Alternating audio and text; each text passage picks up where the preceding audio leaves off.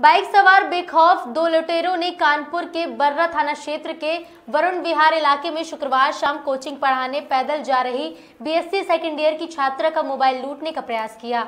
लेकिन मज़बूत पकड़ और छात्रा की बहादुरी के कारण मोबाइल छीनने में लुटेरे असफल हो गए। फिर भी लुटेरों ने उसका दुपट्टा खींचा तो गला कसने से छात्रा की जान पर बनाई। तब भी लुटेरों ने उसे जबरन अपनी बाइक में बैठाना चाहा। नाकामी के बाद हाथ पकड़कर उसे बाइक के साथ साथ दौड़ाने लगे।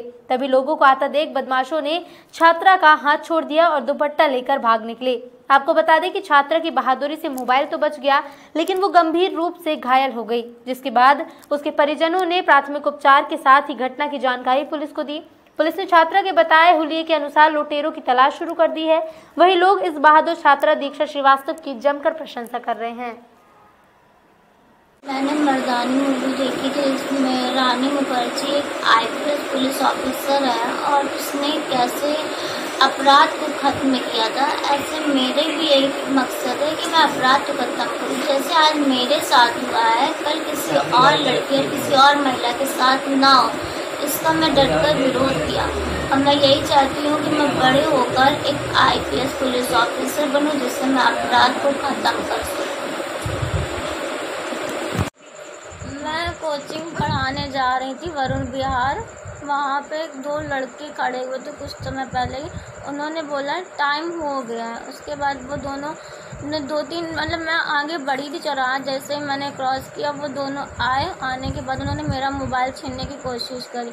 जब मैंने मोबाइल इतनी तेज़ पकड़ रखा तो उन्होंने स्टॉल खींचा। स्टॉल खींचने के बाद मेरा एकदम से स्टॉल गले में कसने लगा।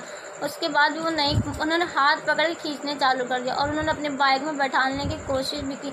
लेकिन मैं नहीं हार मानी, उसके बाद मैं तुरंत ही, मैंने उनकी तरफ़ अपनी तरफ़ खींचने की कोशिश की तो मैं गिर गई और वो मेरा स्ट्रॉल लेके गाड़ी से तुरंत ही वहाँ से फरार हो गया।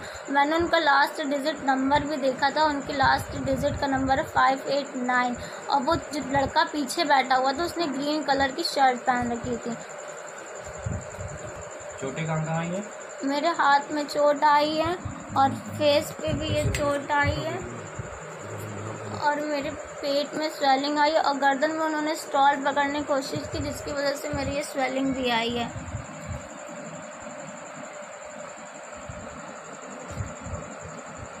भी है।